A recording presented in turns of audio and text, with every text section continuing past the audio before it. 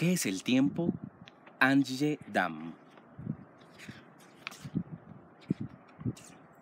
A veces tienes mucho tiempo. A veces no tienes nada de tiempo. El tiempo pasa volando. No puedes detenerlo. Verano, invierno. El día, la noche. El tiempo deja huellas. Uno, dos, tres, cuatro, cinco, seis, siete, ocho. Esta soy yo. Esta soy yo 30 años más tarde. El tiempo se puede medir de muchas maneras. Pero el tiempo no siempre se mide con relojes. Las tortugas pueden vivir más de 100 años, algunos bichitos solo un día. Tiempo para jugar, 550 años atrás. Tiempo para dibujar, 16 dibujos más tarde.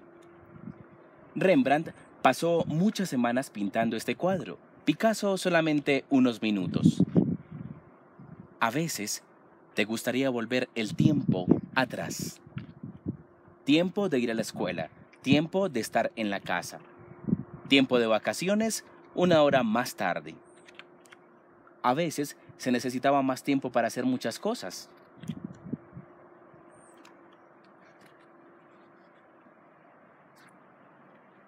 Hay comidas que necesitan su tiempo y hay comidas rápidas.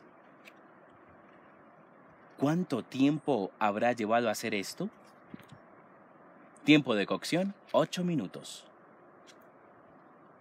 Hay cosas que es mejor hacerlas en poco tiempo y otras a las que es mejor darles su tiempo. Tiempo para ordenar, una hora y 18 minutos. Algunas veces no hay que perder tiempo.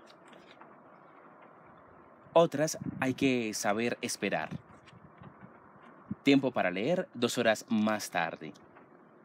Tiempo para armar, una hora y 30 minutos.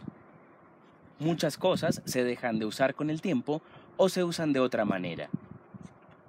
Tiempo de conservación, ni tres meses, ni seis meses, y mucho menos ocho meses. Un día demasiado corto, un día demasiado largo. Cuando para ti es tiempo de levantarse, para los niños de Australia es tiempo de ir a la cama. Algunas cosas siguen estando después de 30 millones de años.